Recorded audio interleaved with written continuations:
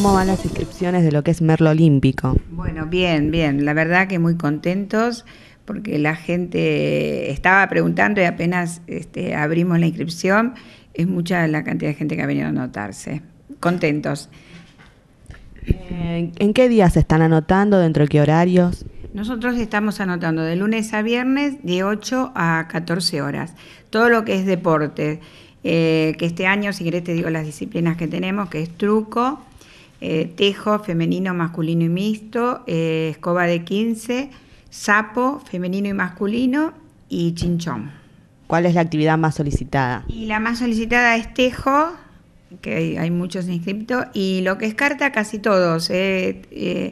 Las disciplinas que nos hemos elegido es la que mayor cantidad de gente reúne para participar porque muchas veces quieren natación, pero mejor natación es, eh, son tres o cuatro, cinco o diez abuelos, mientras que en carta tenés 200, 300 abuelos que juegan a las cartas. Sí, las disciplinas que hemos elegido son las que en general este, son las que juegan la mayoría de la gente. Con respecto bueno, a la inscripción de las actividades, ¿hay algún tipo de requisito que tengan que cumplir?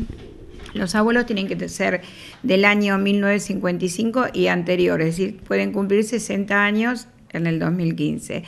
Eh, no, tiene que vivir en el distrito de Merlo y no, cuando viene se anota, nosotros le pedimos, tienen que concurrir con la fotocopia del documento y le damos la ficha médica para que eh, su médico de cafecera lo complete.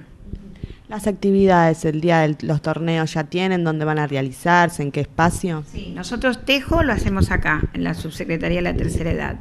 Todo lo que es carta lo hacemos en un centro de jubilados que es Partido de Merlo, que está en la calle Avenida Calle Real 575. Y lo que es sapo lo hacemos también acá en la Subsecretaría de la Tercera Edad.